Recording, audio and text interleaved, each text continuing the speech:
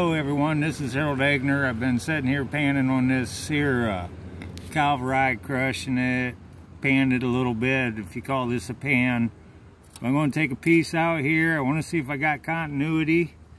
And I plop it down here. I know you can scream, oh, that's wet, but here's your continuity. You got your numbers, but you got your tone. See, the water itself doesn't give you continuity whatsoever. Neither does this water. No matter what you do, that's not continuity.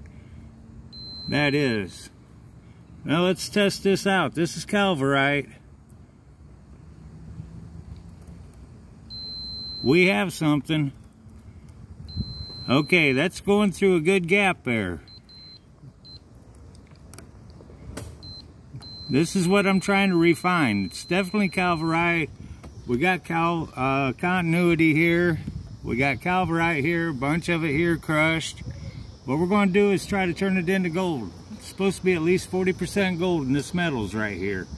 So I guess our next step is up to the crowd. What are we going to do? How are we going to turn this Calaverite that's crushed up into sellable gold? That's up to you all. Help me out here. God bless.